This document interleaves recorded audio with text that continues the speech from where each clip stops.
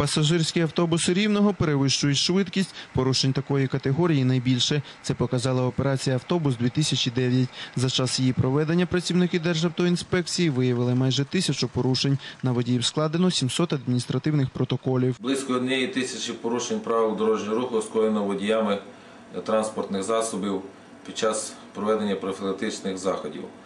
Е, Працівники ДАІ найбільшу кількість серед даних порушень виявили за перевищення швидкості водіями автобусів.